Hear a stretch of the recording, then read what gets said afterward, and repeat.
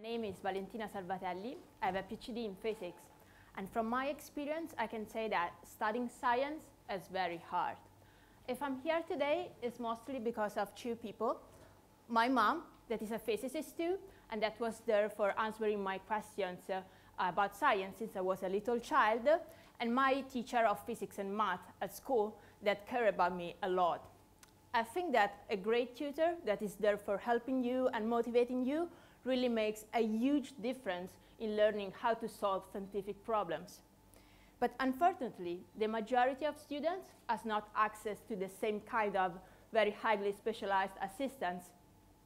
Nowadays, however, um, everyone has access to internet. So um, it wouldn't be great to have a, a platform online that is offering uh, STEAM education uh, to everyone, no matter their background or their school of origin, uh, for free, and uh, that is fun and popular as Candy Crush. Well, actually, this platform already exists. It is called Isaac Physics. It has been created a couple of years ago at Cambridge University.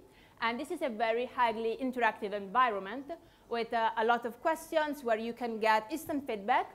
And there are some hints to help the students towards the right solution. And uh, I think that that is already a great tool. I would suggest that to all the students that you know. But at the moment, the activity of the students is self-directed or a teacher can assign some homework to a group. This is not ideal. Um, there is no personalization. And in the era of artificial intelligence, we can do a lot better than that. This is what I did with my ASI project, um, where I worked to transform the platform into a personalized system that can adapt to the needs of each student, exactly as a personal teacher would do. And for doing that, I used uh, a huge amount of data that has been collected by the platform uh, in the form of a click streaming uh, of the users. Uh, and up to now, we have about 6 million of attempt questions and uh, 2,500,000 uh, students active on the platform. And the personalization can be achieved on several different aspects. Uh, I decided to start uh, with setting the right uh, level of difficulty for each student. As a matter of fact, engagement is crucial because students will be able to profit of the platform only if they will be willing to come back to the platform very often.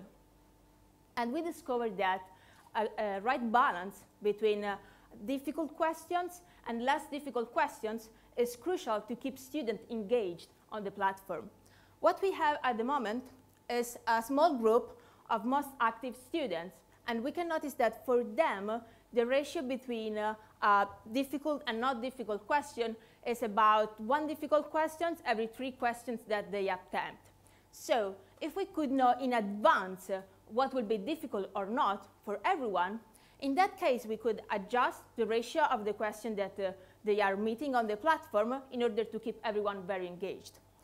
And, uh, but for doing that, the first thing that we need is an example of how difficult questions looks like for everyone. And if we could sit close to the student, that would be very easy. But in this case, we had to rely uh, to infer this thing uh, from the platform, from behind the screen. And for doing that, I work with the teachers uh, in order to translate their uh, real-world experience uh, in, in an algorithm that could classify in an automatic way the past events that we have as difficult or not difficult. And after the, this first step, uh, I was able to pass to the second one that was predicting uh, uh, if uh, a question will be difficult or not in the future. Uh, a lot of different strategies are possible.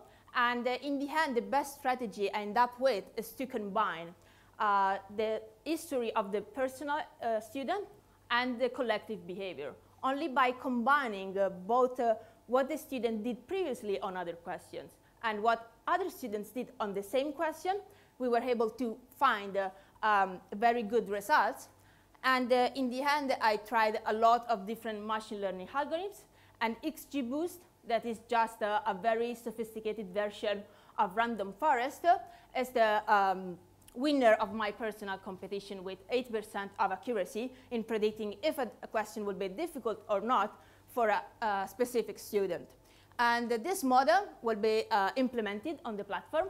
Uh, this means that very soon students will access to personalized game boards uh, the, where the level of difficulty is optimized for their engagement and their learning.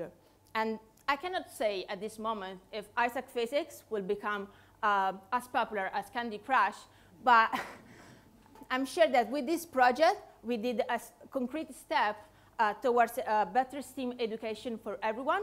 And uh, I think this is a very exciting step towards the school of the future. Thank you very much.